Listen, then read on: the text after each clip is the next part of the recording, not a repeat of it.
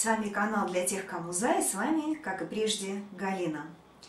Э, прошел определенный промежуток времени, и у меня страшно появилось желание показать вам, а какая рассада у меня выросла. Сегодня я не хочу говорить ни о каких рекомендациях, ни о каких семенах, ни о каких, ну, я не знаю, способах выращивания той или иной рассады, то ли это цветы, то ли это овощные культуры. Я просто хочу показать, а что на сегодня, то есть на конец марта, у меня выросло. Сразу хочу оговориться, что э, про цветочные культуры, что некоторые из них мне э, пришлось заново э, сеять, семена, поскольку часть из них совершенно не взошла, а часть из них э, как бы так э, почти погибла э, в процессе роста. Причину того, что она погибла, я установить даже не смогла. Итак, значит, ну, начну с овощных культур, что у меня на сегодня выросло, значит, и покажу, соответственно. Так, ну, начну с томатов. Я здесь принесла несколько коробочек. Сами понимаете, на стол я выставила э, не все, что у меня есть. В основном у меня все это стоит на лоджии. Э, то есть есть определенные стеллажи, есть подоконник на лоджии и столики сервировочные, да, сервировочные столики, на которых я э, и выставляю, как бы там очень тепло и солнышко, и выставляю свою рассаду. Кстати, сегодня замечательный солнечный день. Вы знаете, у нас несколько дней э, шел снег, значит, и сейчас он еще на улице лежит. Такое ощущение, как будто вернулась зима к нам после небольшой весны. Ну так ладно, я отвлеклась. Значит, что касается томатов. Значит, э, как я уже говорила, что рассаду томатов я э, высаживаю в коробочке. У меня все в коробочках растет. Значит, коробочки из-под сока, из-под молока. То есть я половинку вырезаю этого пакета, те, которые фольгированные, и сажаю туда рассаду. Э, значит, вот несколько вариантов рассады, но это еще от сортности томатов я хочу показать. Значит, а, значит, вот один э, из э, сортов томата. Видите, он не очень-то большой, хотя, в принципе, уже больше для марта. А, что хочу сказать, что перед тем, как посадить э, на рассаду уже, ну, как бы в коробочку отдельно э, кустик, э, значит, я на дно этой коробочки, почти на дно земля, потом идут несколько зернышек двойного суперфосфата. Буквально 3-4 зернышка двойного суперфосфата. Это для развития формирования, ну и, соответственно, как удобрение используется для развития корней и удобрения почвы. Вот э, другой томат, который немножечко повыше. Вот надо, кстати, вот если видно, земли э, надо подсыпать, то есть не сразу я, когда высаживаю, сажаю, сыплю землю до самого верха. То есть э, придется досыпать в этой коробочке. То есть вот два вида томатов, видите, они по размеру совершенно разные.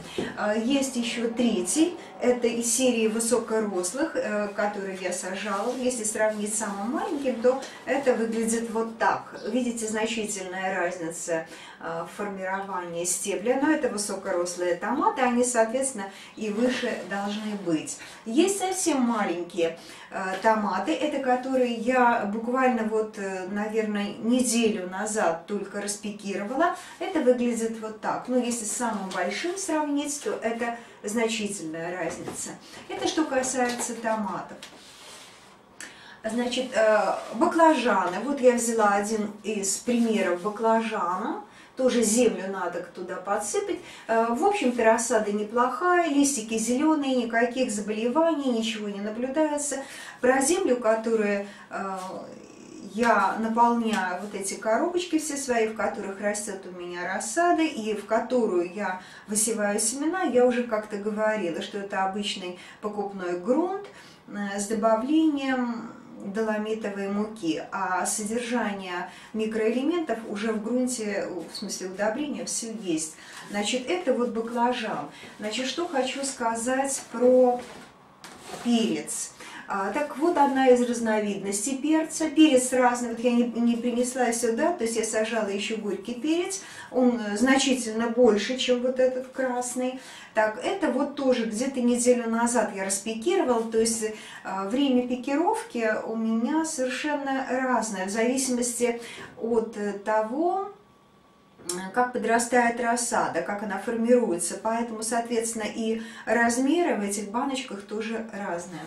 Так, еще перец, значит, вот у меня здесь целая коробочка, ну, сейчас вот еще один. То есть, если этот я сажала, видите, какой объем земли здесь? Достаточно большой, здесь перец, я больше чем уверена, я каждый год сажаю, будет формироваться большой кустик.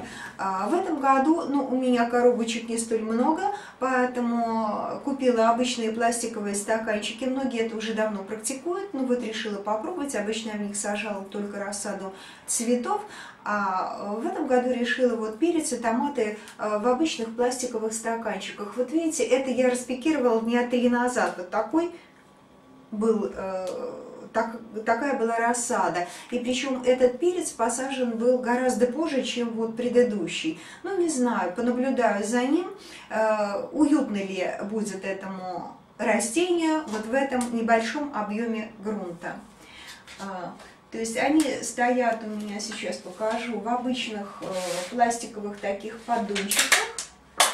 Вот, видите, вот несколько штучек перца стоит вот в таких поддончиках. Это не только перец у меня, у меня так и рассада цветов растет э, распекированная, и томаты, и баклажаны. А, то есть вот в таких поддончиках это очень удобно и компактно, надо сказать, поливать удобно. Так, э, еще что... С... А, про овощи.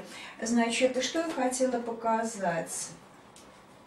Я не специалист по выращиванию лука, лука из семян. Я никогда не пробовала на головку лук выращивать. В этом году тоже не рискнула, просто купила обычные э, маленький лук-севок, и который буду сажать в землю. Но вот э, э другой лук, лук э, пыри, который а, мне нравится, который я выращиваю. Значит, выглядит он у меня вот таким образом. Вот сейчас вот такая травка. Я уже один раз подстригала.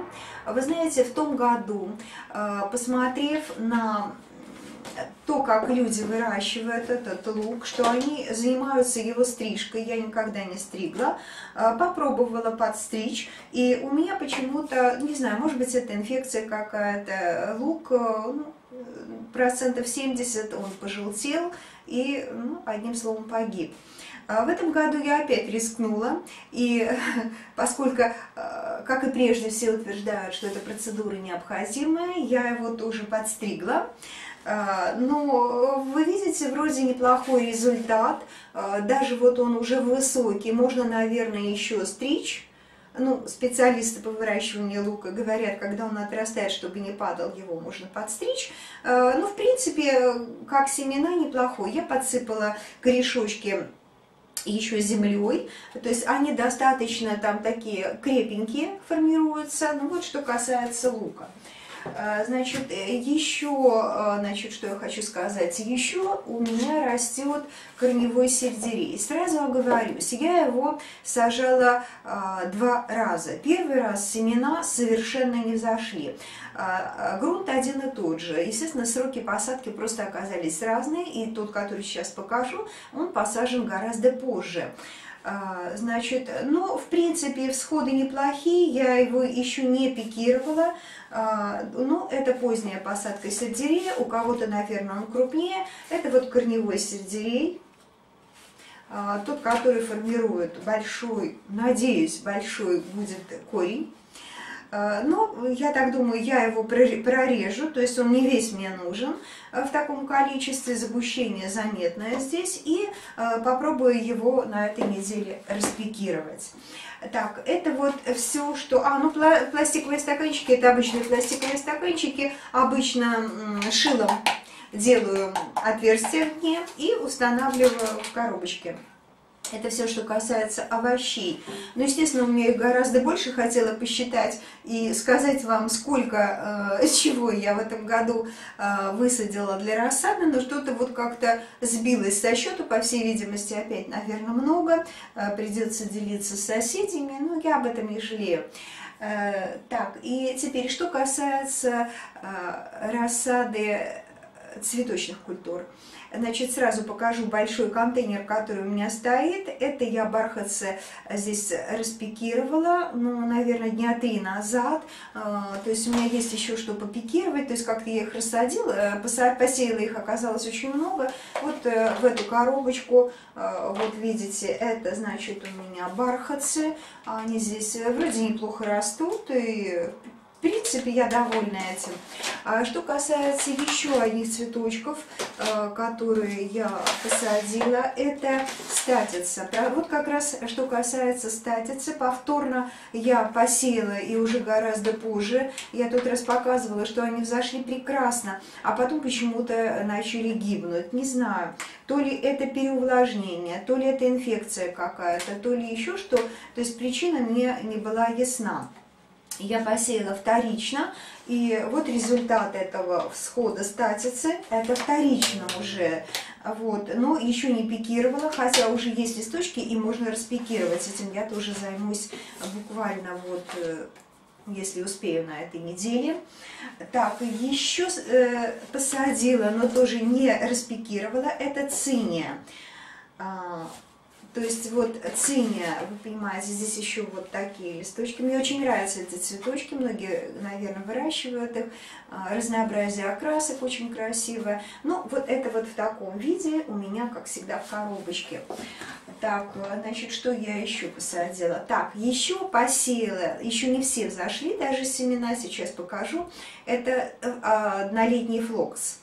Ну, это очень красивые, невысокие, скажем так, цветы, но мне не нравится тоже по разнообразию окрасок. Значит, вот так они выглядят, это совершенно, ну вот они только-только появились, вот видите, в коробочке, многие еще даже не взошли. А, посеяла я их совершенно недавно, наверное, где-то дней 5 назад, да, 5-7 дней назад, и вот только результат всхода. Хотя сейчас достаточно тепло для того, чтобы побыстрее были всходы. Э, так, еще у меня есть два вида гадеции. Вот гадеция райский сад, э, вот видите, вот если так видно, э, Значит, это всходы, знаете, такие крупненькие листочки, поскольку я сейчас другую гадецию покажу, там совершенно иначе. Но тоже еще только первые листочки, вот вторые начинают, то есть никакой пикировки я еще не делала. Так, и вот другая гадеция, значит, она более мелкая, вот видите, видно. Да, и, то есть, ну, не знаю, наверное, это такой сорт. Так, это что касается гадеции. А, так, э, теперь я хотела показать вам, а, вот, кстати, тоже, значит, лабелия, каскад у меня здесь. Я как-то показывала, что лабелия взошла у меня прекрасно. Есть у меня коробочки, где лабелия больше. Эта лабелия неравномерно взошла. Но получилось так, что в одном месте у меня прям буквально загущение, а в другом месте, где был другой сорт, она совершенно не зашла. Все-таки я грешу на семена и семена поставщиков, они совершенно разные. Значит, вот как выглядит эта лабели. Это вторичная посадка лабели, а, поздняя посадка. Но для лабели это не страшно. То есть я, естественно, пинцетом каждое а, вот это растение вынимать не буду и пикировать его. Я просто беру а, небольшой ложечкой и по несколько, вот прям кучечку, которая там образуется, и буду пикировать. Для лабели это не страшно, она все равно кустиком растет. Так, и еще, что я вам хотела показать. А еще, значит, тоже в контейнере. Это моя серебристая травка, правильное название, я тут распуталась, говорила. Так, э, ну она, вот я часть ее распекировала, и вы знаете, уже видно вот эти на ножках э, серебристый такой оттенок. Ну, здесь у меня э, три бархотки вместе с этой травкой. Но вот так это выглядит. Так, правильное название ее цинерария, серебряная. Ну, это вот так вот выглядит эта травка, она, она очень красивая, э, разнообразна. Если посадить разный раскрас э, цветочков с этой травкой, то будет очень красиво. Она до э, буквально поздней осени даже под снег уходит уже еще красивая, еще серебристая, то есть я ее э, просто из земли выдергиваю, поскольку снег уже падает. А, ну вот, сегодня, а, еще про, забыла, а, про овощные культуры. Э, как-то с того года у меня сохранился один из э, кабачков. Когда я его разрезала, э, я увидела, что семена там прорастают. Ну, такое бывает, огородники знают. И прям, знаете, зелень и корешок образовался. И я рискнула это зернышко посадить, одно из зернышек, и вот результат у меня это тот кабачок прошлогоднего года, который я добыла буквально семечко из кабачка. И вот он растет вот таком. Но это, вы понимаете, что в землю высаживать конечно, я его не буду, просто у меня как э, наблюдаю за ним, а что с ним э, будет дальше, а вдруг вырастет, да, а вдруг будет удачное тепло.